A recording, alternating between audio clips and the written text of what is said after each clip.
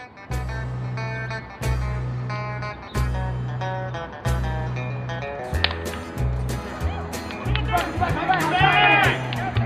hear people talking bad about the way they have to live here in this country.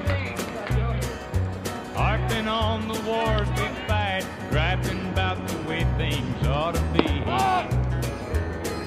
I don't mind them switching sides things they believe in.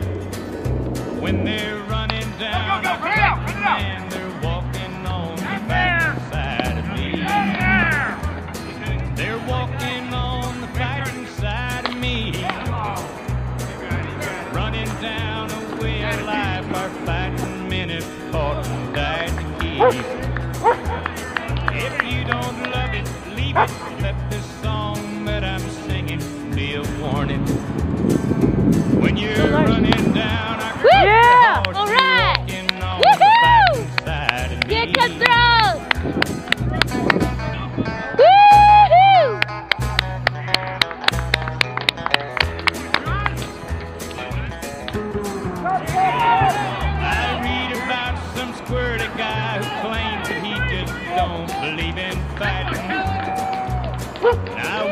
Just how long the rest of us can count on being free. They love our All right, cutthroat.